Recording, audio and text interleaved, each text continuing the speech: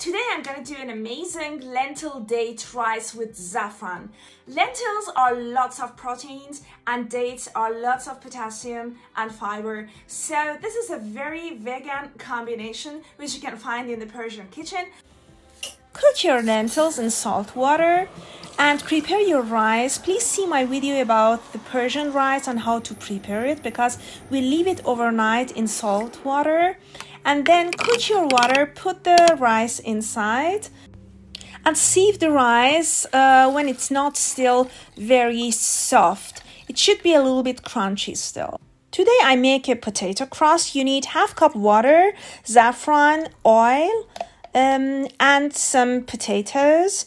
You can put some salt and then we will put the rice on the top, lentil, and you will put um, some rice spices. I have the recipe also down here, but you can also buy it in my shop ready as a rice spice. And then you put again rice and lentils and you go on until you don't have any materials anymore. Cook it for 40 minutes on low heat.